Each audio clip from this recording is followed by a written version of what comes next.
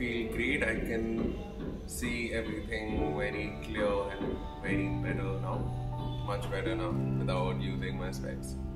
I can see through great distances and everything very clearly. I got to know about Visual Aids Centre uh, from my grandparent and my mother got their LASIK done in 2005 and 2009.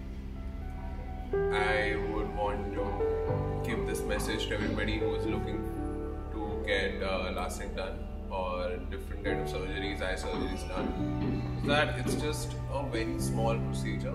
It just takes you five minutes, where it would hurt for only two minutes, honestly, and you would be able to see clear and wouldn't have to use your specs at all.